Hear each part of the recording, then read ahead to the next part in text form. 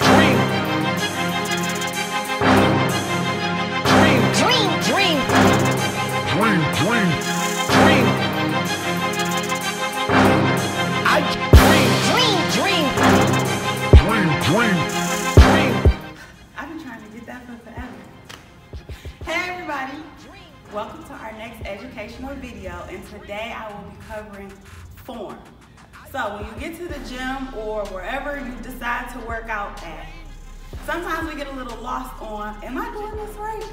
How should I do this? Well today, I'm gonna walk you through step by step on how to cover our basic exercises that we do in the gym. So two things about form. If your form is off, the exercise doesn't count. And second, we want to make sure our form is right so that we can prevent injury for ourselves. So, come on with me. Step into my office. We are now about to perform a body weight squat. Stand with your feet hip width apart. Make sure your back is straight. You're going to sit the hips back and lower. All of your weight should be distributed in your heels. You can place your hands behind your head to ensure stability and proper form. As you lower, use your leg strength to bring yourself up. Give the hips a little thrust forward and squeeze the glutes. Keep your core activated at all times. To practice with your form, if you feel off, you can also place a stability ball between your back and the wall and use that as support to lower down into your squat. Dream.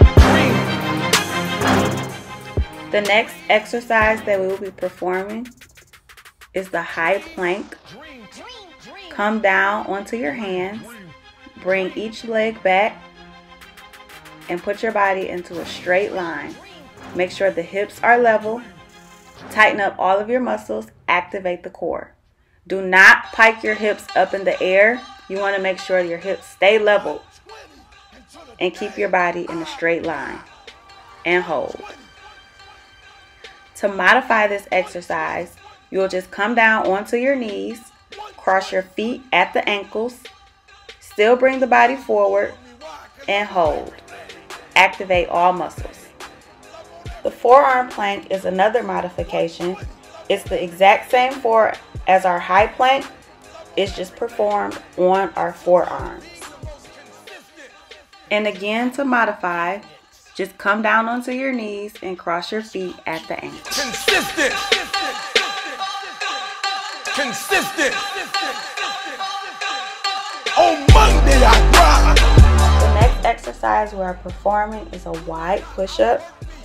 You're going to come down onto your hands, step the legs back, open up the legs hip width apart, tighten up the core, and lower down your entire body. And push up using your arm strength.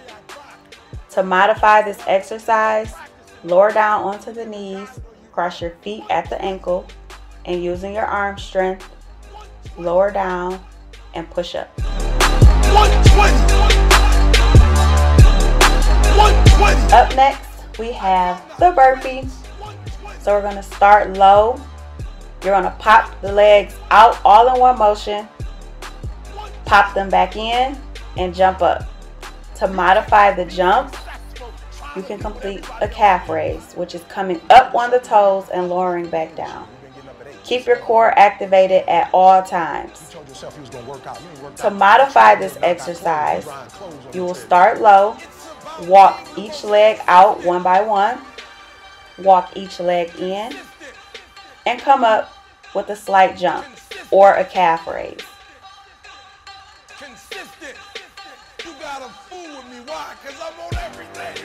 The modification of modifications to the burpee is a toe touch. So you'll hinge from the hips, touch the toes, come back up into a slight jump or a calf raise. Remember, keep your core activated at all times. Consistent. And last but not least, we have our frontal lunge. So with our frontal lunge, our weight is in the heel of the front leg. You want to make sure you are bending your knee at a 90 degree angle. Activate the core and as you push off of your front leg, make sure your core is tight, using your core muscles and your leg strength to line back up and switch legs. Keep your hands on your hips for balance.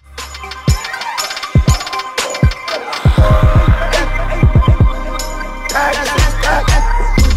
you all for tuning in to my video. Please reference this video if you ever get stuck on what type of form you should use for those basic exercises. Please share my content with other people so they can create gym bodies. And stay tuned for the next one. And don't forget for all of your health and fitness needs, just dial.